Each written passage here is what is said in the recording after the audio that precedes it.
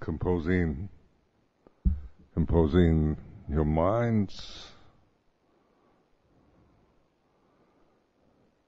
sati sampajanya, intuitive awareness,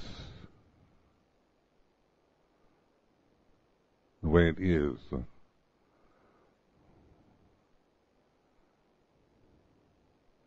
So when when I say that, what does that do to you? does that help in in uh, just bringing attention, paying attention?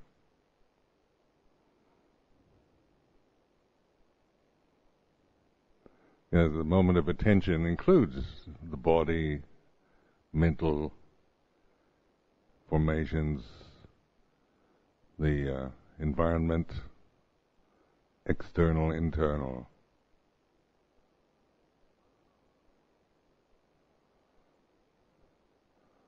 Because it has a, a wholeness to it, it includes everything. Where, where thinking analysis divides, even when you think internal, external, and you're creating uh, two things, aren't you?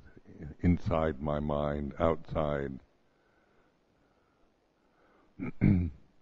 so, thinking is, is, you know, this is why I keep emphasizing to investigate uh, what thinking is as experience. Uh, not to think about thinking, because then you, it's a trap of the mind. You can't get beyond thinking then one is stuck in that, uh, you know, just think, think, think, think your way through life, and uh, and every, and you'll always feel alienated or something missing. You can always think of something, you know, something better. Or you have memories. Uh, memories stimulate thought, so so then you they'll trigger off various feelings, emotions arising from remembering things of the past.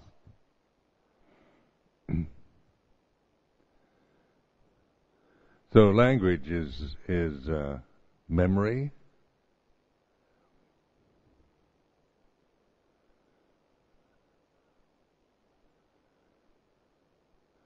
But intuitive awareness isn't a memory.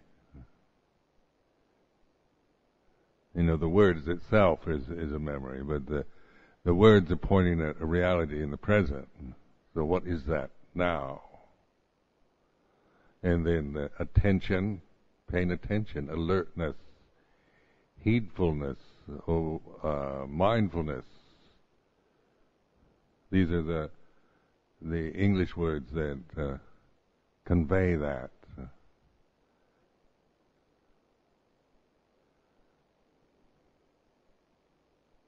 being here and now. the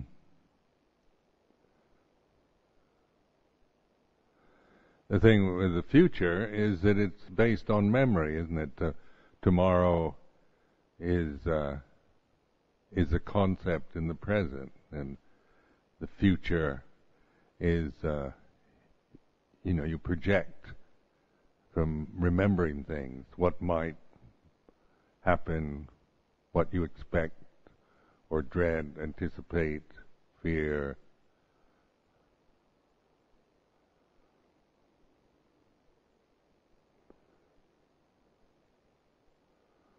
So the future is uh, is not, you know, it's, it's we we don't, you know, if we let the future be a mystery, the unknown, that's that's good practice rather than trying to uh, have, uh, you know, everything guaranteed, certified, uh, figured out, programmed, defined to make us feel that in the future everything's going to be all right. The future is the unknown. Death is the unknown. And not to know is uh, not knowing. and we think we know when we when we fill our minds with words and memories and promises and expectations, and so we we make people promise, promise that you'll come, promise that we'll meet, promise, uh, make a vow, make a promise, because this uh, for the future.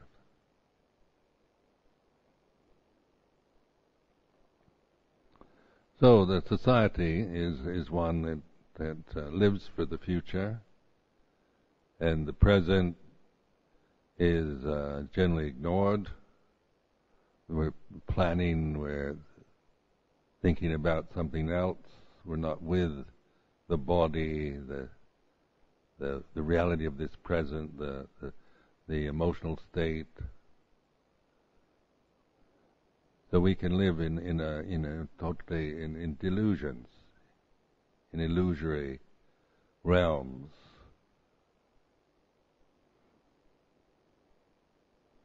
So in the the touch the earth recognition, like the the Buddha before he was enlightened, before he was the Buddha, you know, the touch earth uh, mudra, calling the earth to bear witness. That's that's conveying mindfulness, isn't it? When the ascetic Gotama sat under the Bodhi tree, he touched the earth. Uh,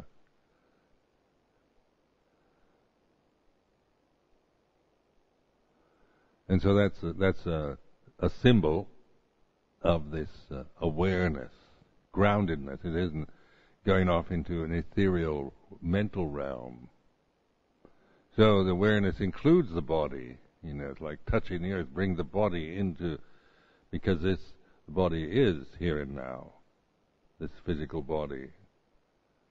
And when you, and it's an obvious fact, but we can go into a mental state and ignore the body, try to attain some kind of mental concentration which the uh, body is ignored.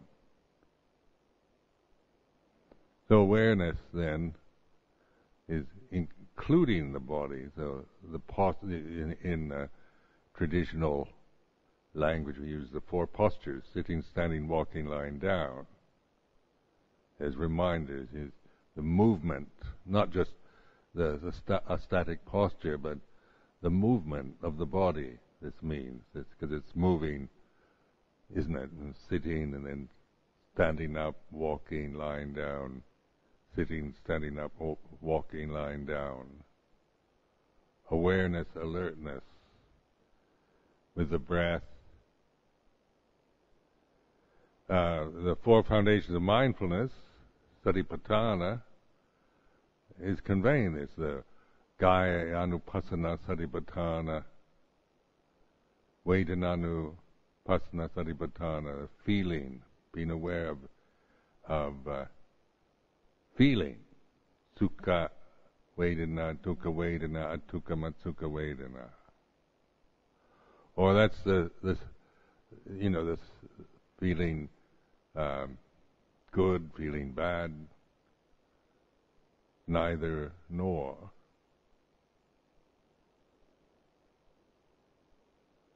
Chittanupassana Satipatthana, the state of mind, the mood.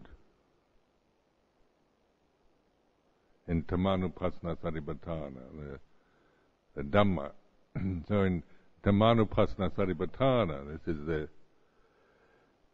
using these uh, Dhamma teachings Four Noble Truths, Paticca Samuppada,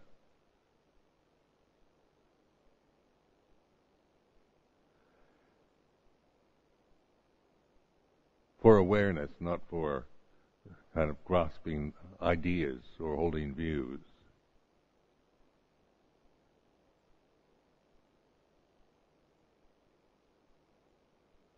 So during these reflection and during the retreat, I've emphasized you know, how to use these these uh, teachings for awareness.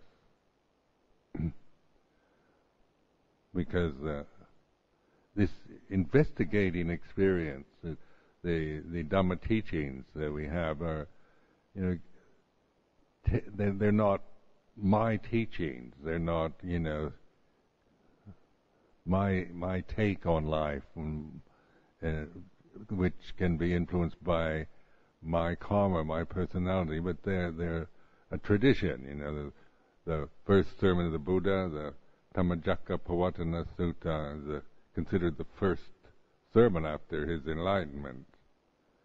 But uh, it has tradition behind it. It's from a long time ago,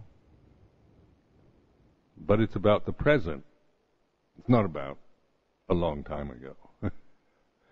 it's not an exotic teaching, a fascinating Indian philosophy from from ancient India. It's about Paccuppanna Dhamma, here and now.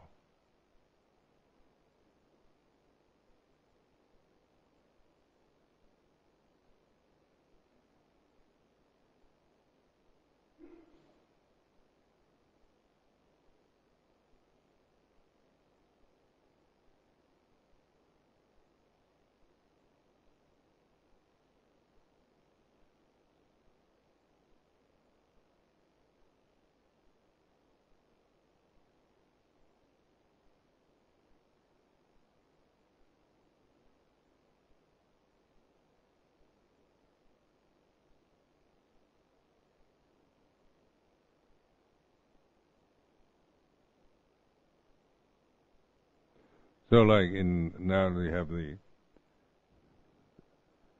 uh, body of Bernard in the Chapel of Rest. this temple is well set up because it is uh, in coming to this site, Amaravati, 1984. You know, the intention was to build some kind of temple here and but the the formation already the existing buildings, these wooden huts and that, were situated in such a way that we could build a temple like this with the with the Buddha image, main Buddha image facing the east. That's that's uh, way it's supposed to be.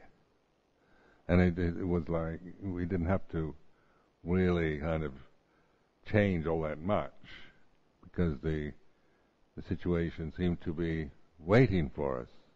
The chapel of rest, the uh, reclining Buddha etched into the glass, uh, is the symbol of the uh, you know oftentimes they call it the parinibbana or the the um, Buddha when he was dying facing west so the east is always a sign of birth, isn't it? The sun rises in the east and sets in the west. so the Chapel of Rest is a very kind of also a fortunate place to have just for you know these symbols the east west sun rising sun setting birth death just the everything, these, these symbols, concepts, icons, images, they're for reflection, you know, they're to remind us. We're not trying to believe in, in, in anything, you know, to kind of force some kind of superstition onto it, but uh, just using the the flow of our life and the the way things are. Set, the setting sun is like in death, isn't it? The sun goes down. Of course, we know the sun doesn't set. You know, modern science it uh, proves that you know the sun doesn't rise and the sun doesn't set. and that's one level of understanding, isn't it? But in terms of experience, isn't it? In the present, we see the sun rising and the sun setting.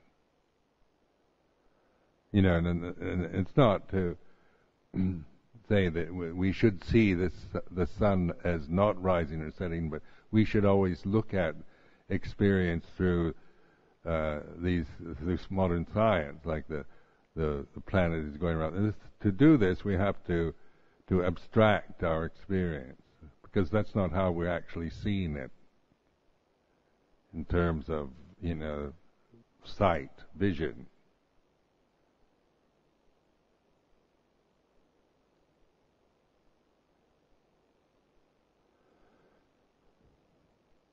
So birth and death also is is um, when the Buddha pointed, the, the Four Noble Truths pointing at this birth and death, beginning and ending. Not from scientific uh, analysis, you know, physics and chemistry and all the rest. It's it it's been able to uh, you know, recognize the way it is in terms of experience, that all conditions are impermanent, isn't some scientific uh, discovery. It's just it's uh, a reflection on the way it is in terms of experience here and now.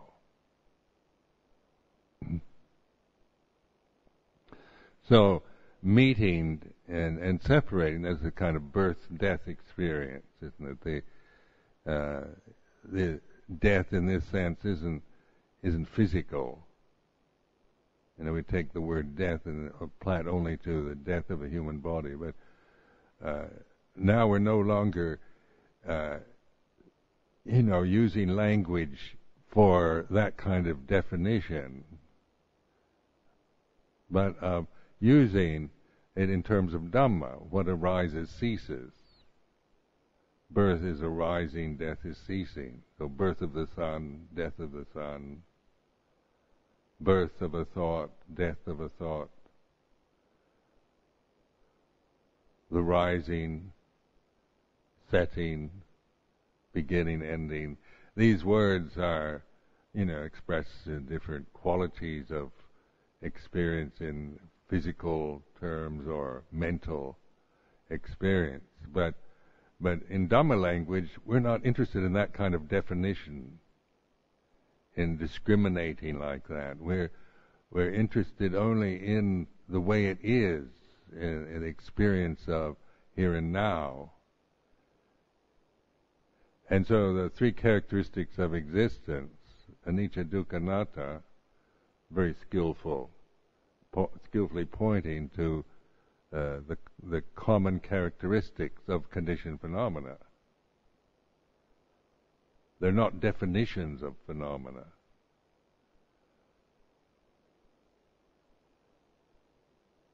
All phenomena. So if it's mental, uh, physical, sensual, uh, psychic, whatever, you know, whether it's true or false, right and wrong, or whatever, you know, illusions arise and cease, thoughts arise and cease, fantasies, feelings, emotions,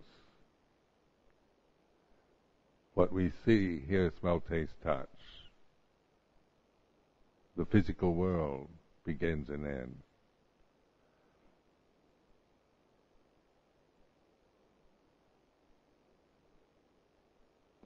Now, if that's all there is to it, then then there's only the the sabbe sankhara anicca, you know, there's only sankharas, there's only conditioned phenomena. There wouldn't be any possible liberation from it. We'd be, we would have never have any perspective on it. We'd just be caught in the in the habits we've developed which many people are. They're just victims of their habits. They don't awaken, they don't investigate, they don't understand themselves. They just merely continuously repeating the, the same things, being caught in the same delusions, same assumptions, until they die. so that the conditioned realm is is uh, you know this is the to be seen in like in in uh, four foundations of mindfulness, satipatthana, is uh, investigating the conditioned realm in Dhammanupassana Satipatthana, isn't it? Then we're, we're getting perspective on conditioned phenomena through Sati Sampajanya, which then isn't isn't a, a condition that understands another condition. We're actually in touch or liberated through awareness of the conditioned realm.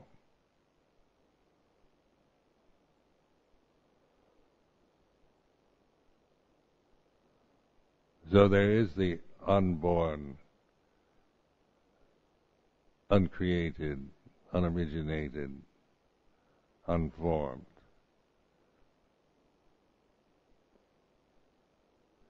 So it could only be through sati sampajanya that this that we this unconditioned, uncreated is recognized because it's not a condition, so you can't see it or or or objectify it. That's why it's realization, awakening, alertness.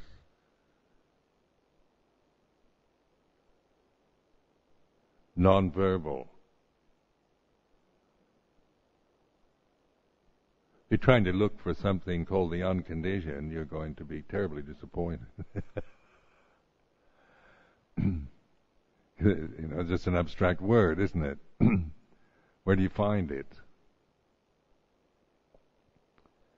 Prove it to me. Or like, like all the, uh, you know, in uh, Christianity where they say, show God to me. You know, where you've got to prove, scientifically prove that God exists otherwise I won't believe it. And uh, and then the Christians do define God all the time, you know, into Trinitarian doctrines are, you know, it's usually child's version of an white bearded old man up in the sky, a father figure.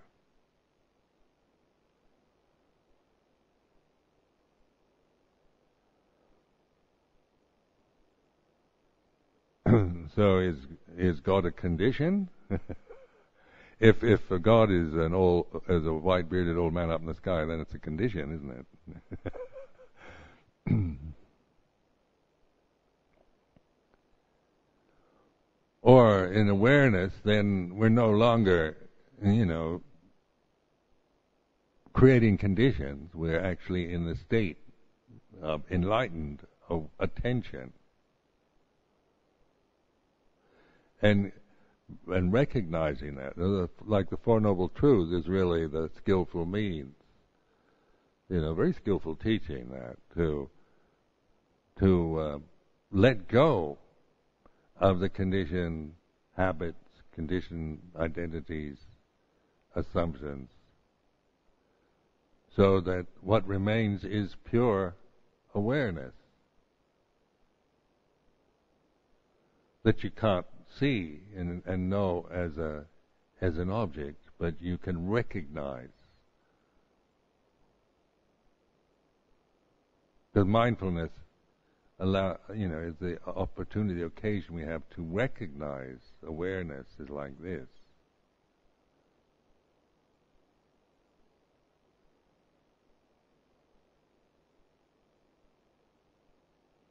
So that's why giving you the the uh, you know the sense of listening, poised attention.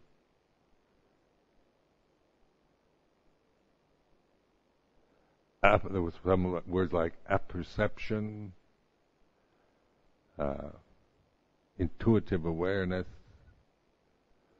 These are just words too, but they they're they're not attainments of you know special states, but natural ability to to be open to the present. Because that's all there ever is, you know. When you when you stop creating, uh, following the habits and the assumptions of your conditioned mind, it, it becomes very apparent. The insight, knowledge comes. Paccuppanna here and now. The future is the unknown, past is a memory.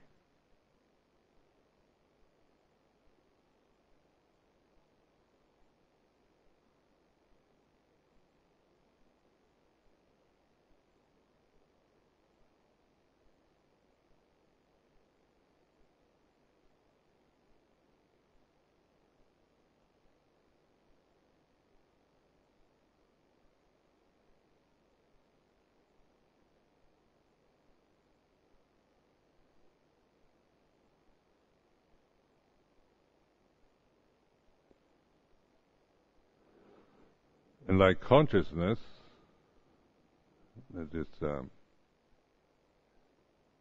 here and now, isn't it? Awareness, consciousness operating right now. It's like this. Consciousness without a form, say with with just awareness and non-attachment. But it contains all the forms. That's why it's like intuit intuition. it's uh, holistic, as they say. It's uh, it's uh, it, it's non it's not divided into two.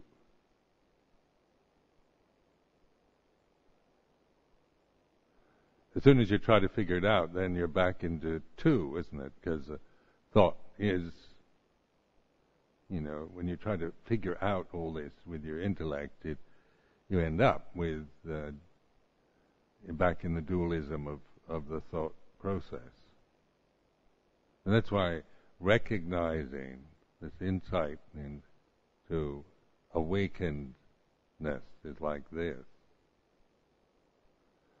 And that's why I point to use the term sound of silence because then, uh, in this awakenedness, there is this.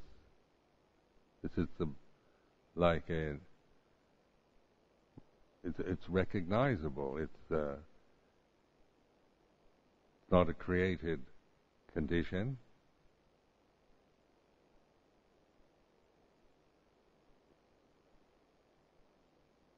The thought the thought process isn't operating. And the mindfulness connects. One can sustain awareness.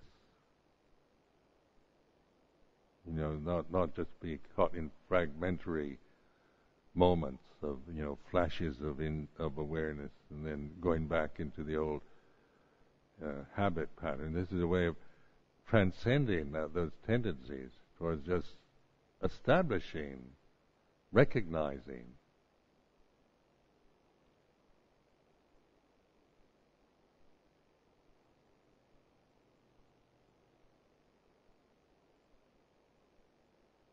So then, in in you know, like a retreat like this, gives us a kind of uh, special opportunity to to just concentrate and and to determine to to break through the delusions we create around ourselves and the world we live in. You know, it's uh,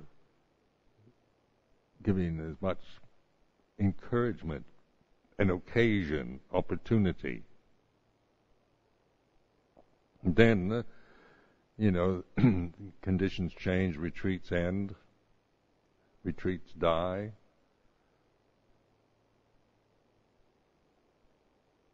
Central heating dies.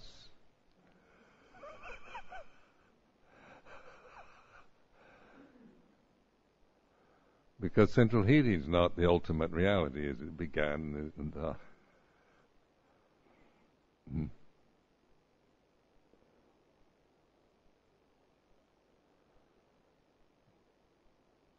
But then the challenge, you know, the reason why I I found this sound of silence so uh, powerful in practice is because it integrates. You know, it's a it it's once you start noticing and and valuing it, then it it is wherever you are.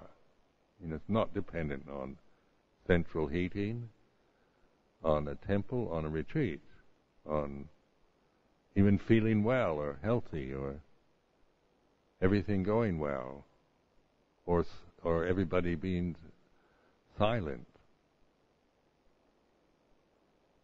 So this is a way of of uh, you know integrating awareness, uh, practical way of of developing that into the flow of life, of traveling, of uh, working, ordinary daily life, monastic life, monastic routine, layman's life, whatever you have to do, whoever you have to live with, whatever work you have to, to do. This uh, the challenge then is to keep remembering this, being this stillness in the midst of the turmoil of the world. so, like the lotus blooming in the midst of the inferno is indestructible. This is a image that a Buddhist uh, kind of image uh, that I've always liked. You know, I have this picture in my mental picture of this beautiful lotus, which is, uh, you know, a delicate thing. Flowers, you know, they're not, they're easily destroyed. But a lotus, which seems delicate and refined, in the midst of an inferno, which is a, you know, raging fires, is indestructible.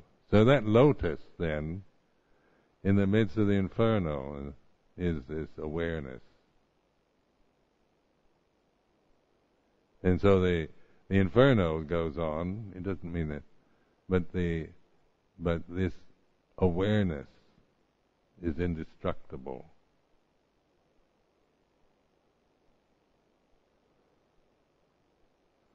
So it's a, a jada vimutti. It's the it's the still point. It's the the refuge that we all can take refuge in, no matter what's happening, you know, both physically, mentally, or in the society, in the world.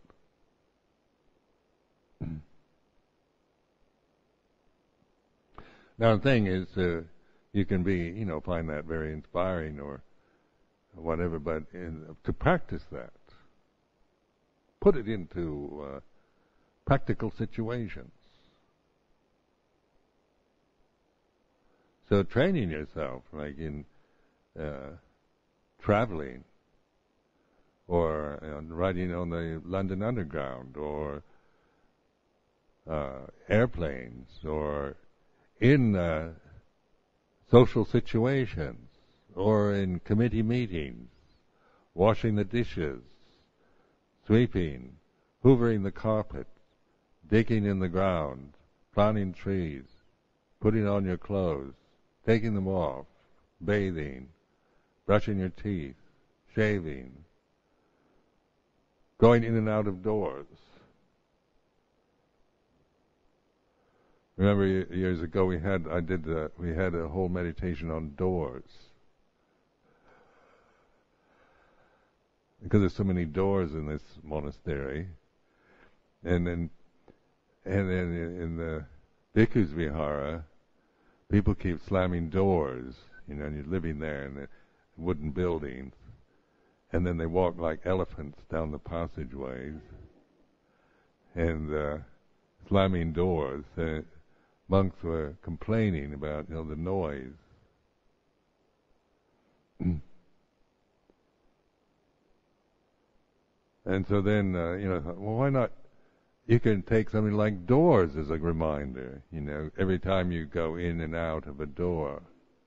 There's a lot of doors here, and just to get inside the temple, you go through three sets. if you come in the the front entrance,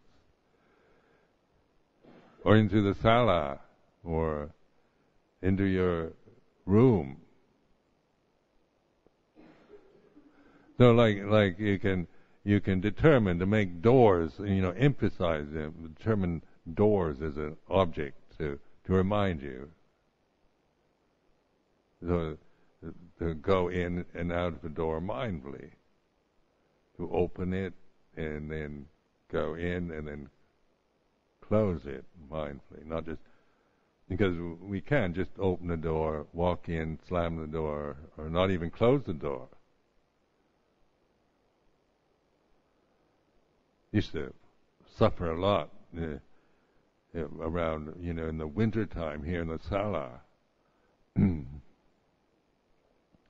People come in the doors, you know, we'd be heating up the sala so it's nice and warm, and then people come in and leave the door open. And all the cold air rushes in.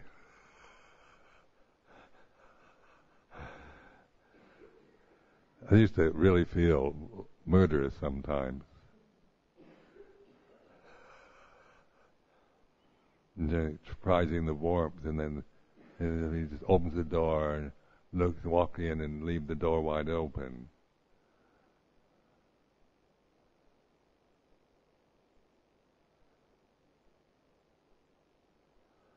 But one had to also look, use that situation when things don't go well, when people don't close the door, slam the door. The sound of silence is still present. Awareness.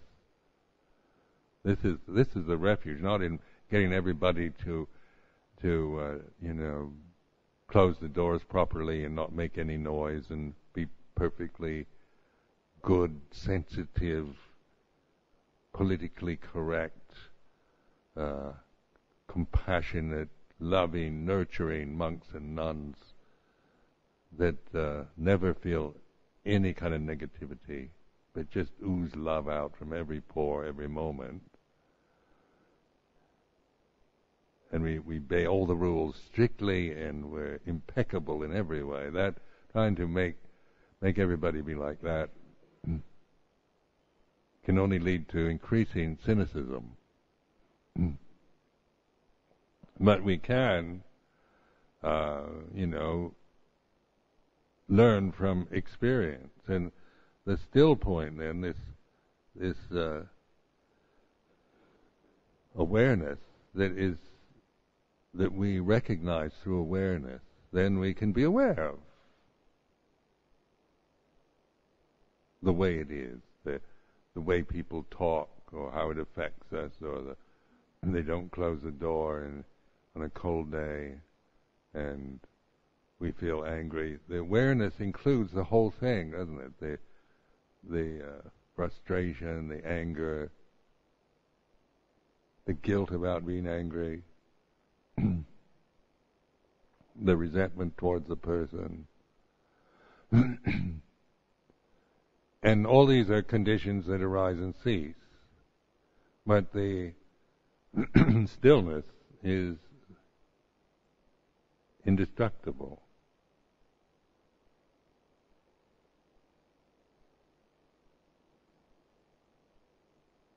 So just like doors, uh, you know, using the monastery here, you know, skillfully, like really, like you're walking from the temple to your room, to your kuti, or from the temple to the sala, or the monk's vihara to the sala and the sala to the monks vihara. These are like for Jongrom to be to you have to determine to do this so that it, you remember to. If you don't make a determination, it just it might be just a passing uh, thought that you don't you know you you forget immediately.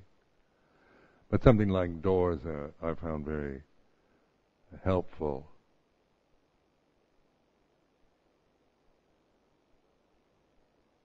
the same doors, especially because you have to slow down, you have to stop, don't you, to open the door, close the door, crossing the threshold into the room and then closing it. Uh, noticing uh, the the handles on the doors, or the doorknobs. You know the whole process of opening and closing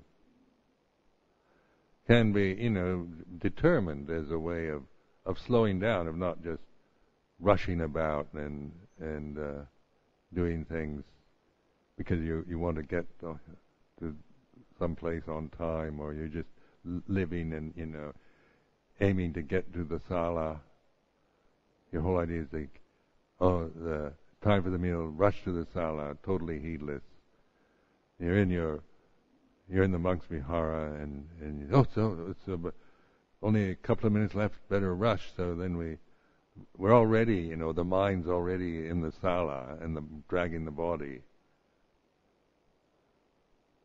And so we, our life is not, you know, it's just a matter of conforming to periods of time and meal time, puja time. And then free time means we can be totally heedless.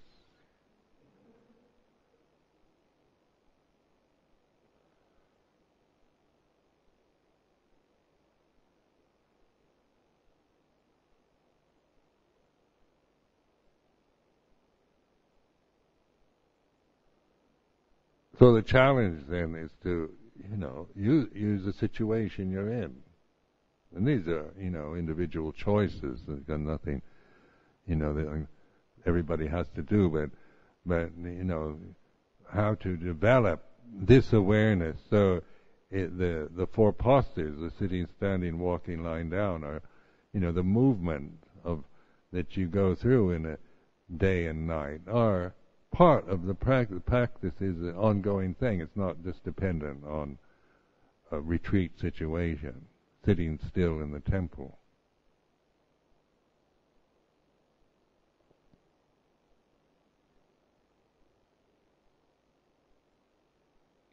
Like I found, like chanting is with the sound of silence. I can actually, you know, and I chant Namo tassa bhagavato arahato. And I'm with the sound of silence and that chanting, then it's the mind doesn't wander. It's it's with that with the actual chanting that I'm doing. Where before I used to, you know, once you learn Pali, you know, you just Namo tassa bhagavato, and your mind's going, you know, not with it. You're just kind of mechanically, perfunctorily kind of saying it. And then, then the Santini Kokarikale Pasigo Panago Bajapang And so you you're just trying to get it over with. Get the puja over with so you can sit.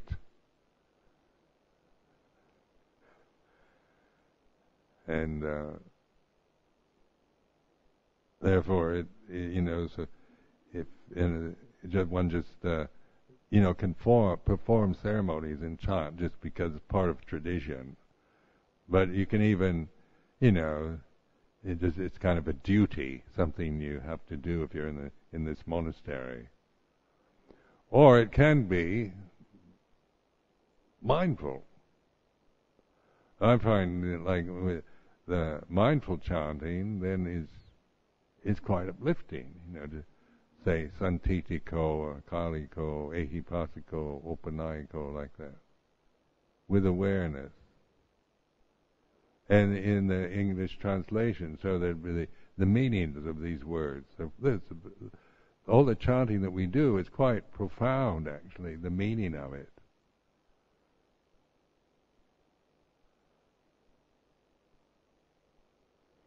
Or it can be just perfunctory, you know, just Namo Tassa Bhagavato,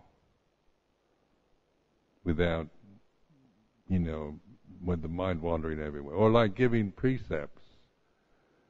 You know, I used to notice, uh, you know, like uh, when I give the precepts, five precepts or eight precepts, you know, the mind would wander. And, and the biggest fear I used to have was forgetting where I'm at which precept I gave last.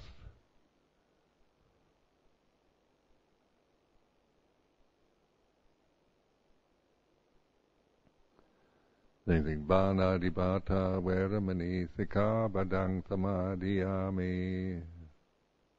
Then they repeat it but I wouldn't be there. I'd be my mind would be somewhere else and then I which one did I just give? I couldn't even remember, even though I just said it and and, they, and it had been repeated. So the, the mind would would just wander all over the place, and and then in uh, training to give the precepts in the with the sound of silence as a background. You know, the mind is empty, and with what you're doing, what I'm doing is, I'm with it. You know, I'm not. You know, I, I know what what it is, and so it's it's more. Also, it, it feels like it's then it's it's really what it's meant to be, giving the precepts, taking the precepts.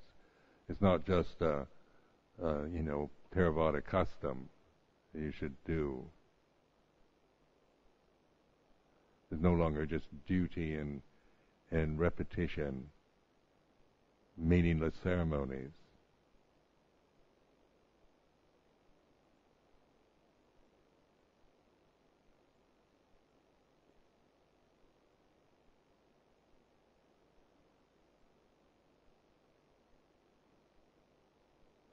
So this is, you know, this is a a way of training yourself with awareness that that is uh, in the flow of life in a in a monastery monastic life it is a certain style to it. It's the way it is you know the, the our custom our tradition uh,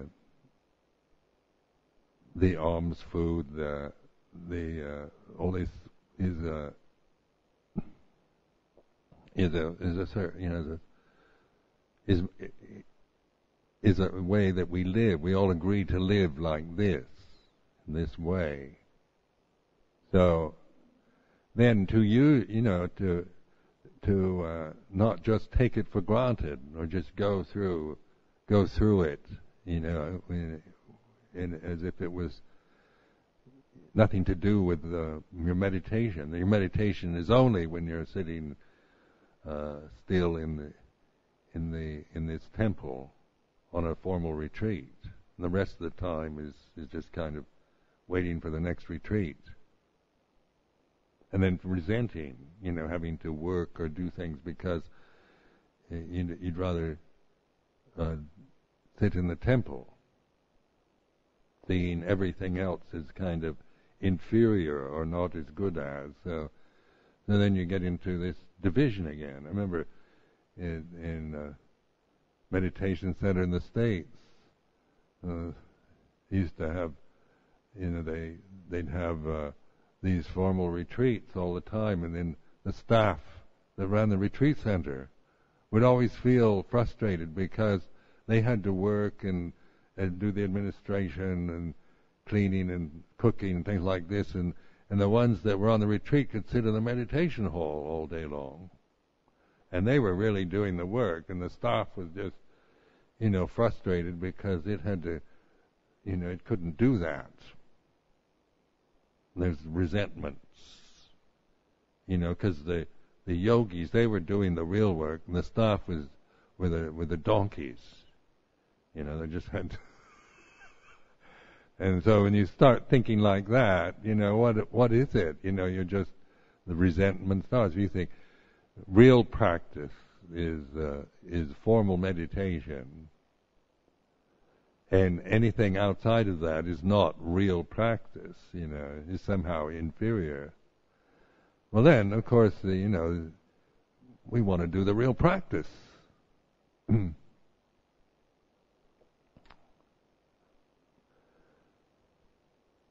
So that is all a matter of, you know, that's thinking, preferring, having opinions and views. The whole, you know, if that's all you're doing, what good is real practice if you aren't breaking through that illusion?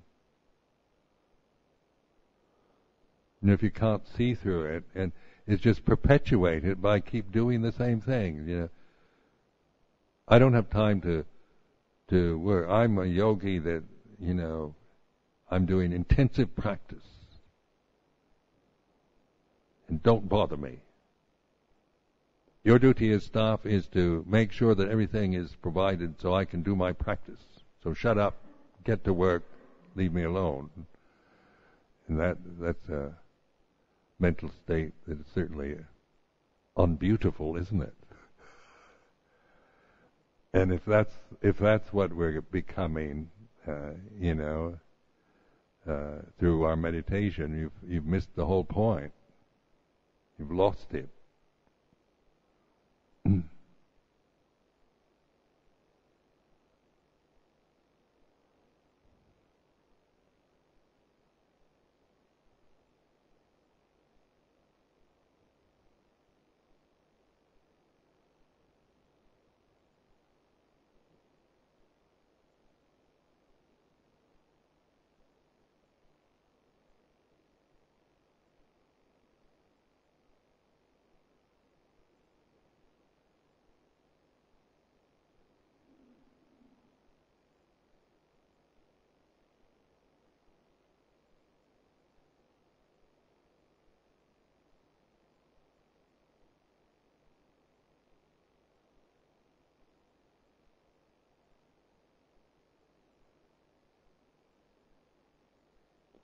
So like also having a Buddha Rupa or some something like this, and like using the Buddha images. You know, developing that is a as a sign. You know, because it, it's uh, to to bow in front of a Buddha image uh, mindfully, in the, in the stillness of the mind, not just to you know to. Um, do it out of duty or obs- uh, kind of obsession, compulsion. That's what you should do. When you enter the temple, you should bow to Buddha Rupa. and it's always, you know, stopping, uh, getting down on your knees, bowing in the stillness, lighting the incense sticks, lighting the candles, in the stillness inner stillness, not stillness of, you know, the temple has to be silent, but in the inner stillness. So that then, uh, then everything's helping us. You know, the the um, Buddha images, the candles, the incense, the flowers, the monks and nuns, just the, you know, just seeing seeing the samanas, like for lay people and for the samanas, just the, the form, the the color, the robe, shaven head, rather than than dwelling on, uh, you know, making these as, per, you know, defining them as personalities. It's uh, it's an outward symbol of sangha. You know, it's a it's an icon in its own right, a sign of sangha. But it's so easy to make monks and nuns into personalities. You know, for us too. Even, we do it. Even I do it. It's so easy to to um, personalize the this monk is like this, this nun is like that. But say training in in uh, in uh, with awareness, then it's it's beginning to you know changing, just recognizing the using a form such as the samana form, the shaven head, the robe, as a reminder, you know, of sangha, refuge. Not you're taking refuge in in in a personal monk or nun or in monks and nuns in general. It's not that. It's a it's it, like symbols we can use for awareness.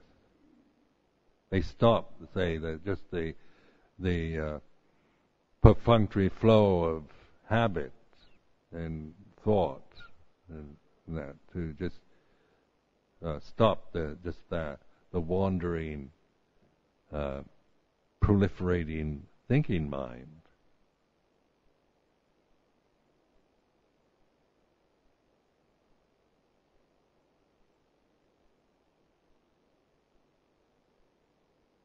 So it's like like one time I was in the,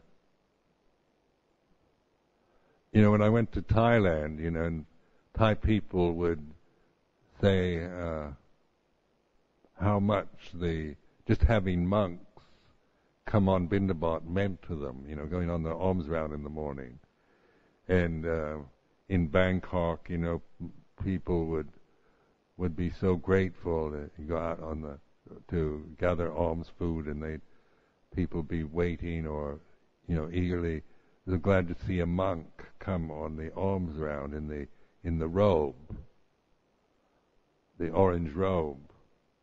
So then, uh, and then even in the uh, in Wat Pah Pong or Nanachat, and you know, people, all villages would were really happy when we'd go to see the robe walking through the through the village on alms round, and then the people say how much that meant to them, how it made them feel good just to see that. It's like a, you know, part of a culture that something in the culture that that uh, means something more than just the mundane, ordinary busyness of life. Stops them, you know, they stop just the worrying, um, habitual things, uh, habits to just for that sense of respect of just seeing a shaven-headed monk wearing an orange robe with an alms bowl. So I, then I lived in Thailand for for 11 years, and I became like that. And I remember it, it really uh, stuck me as a, when I was in, I was had to go to the hospital one time in Bangkok where, uh, you know, and I wasn't, um, was on a ward where you know, it wasn't a monk's ward, and I was just kind of alone there as a monk. And then uh, one day I got up and looked out in the morning out, you know, it was up on the third or fourth story of this building, and then looked down. There was a monk on alms round, orange robe, shaven headed with an alms bowl. And I felt this kind of joy, just a contact, eye visual contact with this form, you know, of of just something so um, kind of uplifting, you know, just that image, the the effect of that of of that form. I didn't know the monk; it wasn't like anything personal whatsoever. But just that, you know, how that that does the the what the the, the icons, the symbols, the forms we have do have a, an effect on on our minds.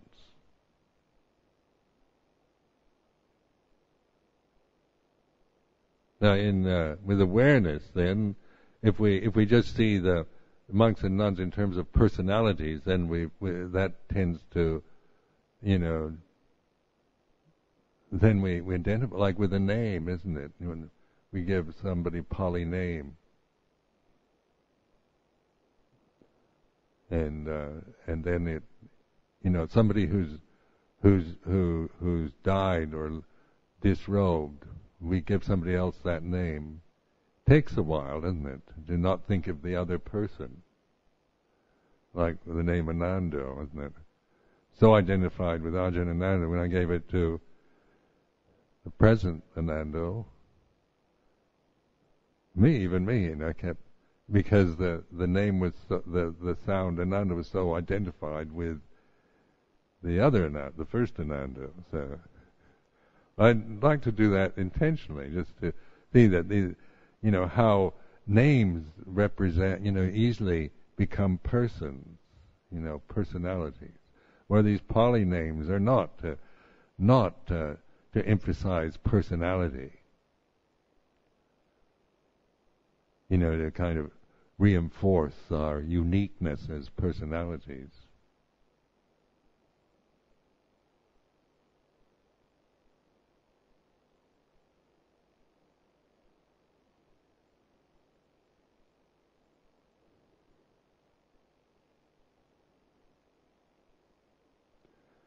Sumedho's a name I've never dared give to another one.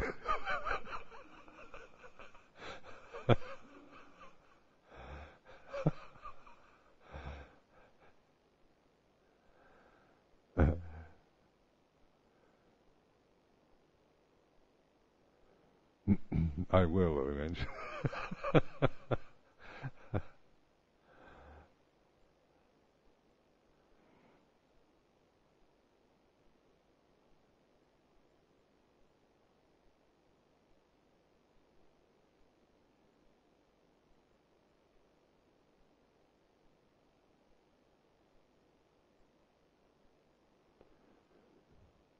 So that awareness and mindfulness isn't dependent on conditions. You know, this is this is why it is a refuge. Because a refuge, if it's just dependent on things being a certain way, then it's not a real refuge. It's a temporary, you know, temporary refuge, maybe, but it could also be destroyed. But the lotus blooming in the midst of the inferno cannot is indestructible. So that's that's an image in the, uh, that I've found. What is that? That lotus, which is a totally unaggressive, uh, uh you know, del- it seems delicate and very indestructible. You know, easy to destroy a lotus. But the lotus is a is an ancient symbol, you know, and and it it is that meaning for that purity, that pure essence, stillness, and and the, this this stillness, this uh, that we can only uh, recognize or be through awareness, through awakeness and recognize, then that is the, the strength. It seems like a delicate, at first it seems like a, you know, very delicate thing, dependent on, you know, like a, a lotus blooming in a, in a special environment, a greenhouse. We have to have the temperature just right or it'll die.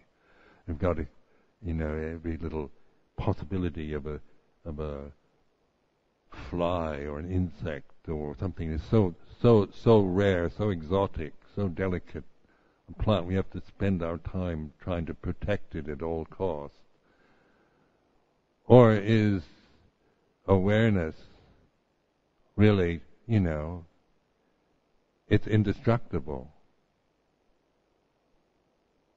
And this you find within yourself, you know, through through the, what we call meditate, through bhavana, through reflection. That which is, it can't be destroyed by changing conditions, by the birth and death of thoughts, emotions, comings and goings, successes and failures. The inferno of samsara, the busyness, the stress, the the demands, the the crises, the catastrophes, the tsunamis, the whole lot of samsara. Uh, what is it that is indestructible in when destruction is happening all around you? And then this, uh, you recognize uh, and develop this.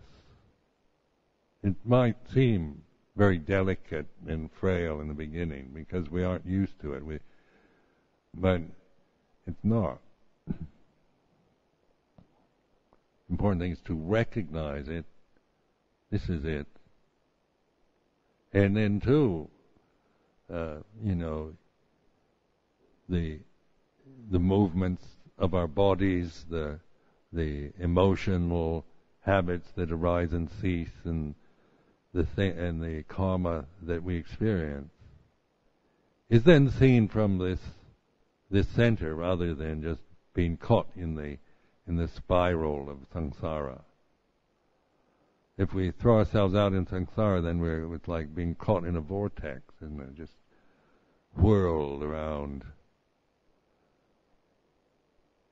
And it is frightening, and there's a lot of fear in the samsara because it just it's just you know goes on and on and on, and and you can't you can't find any safe place in it. It's always there's always this sense of danger and lack and something missing.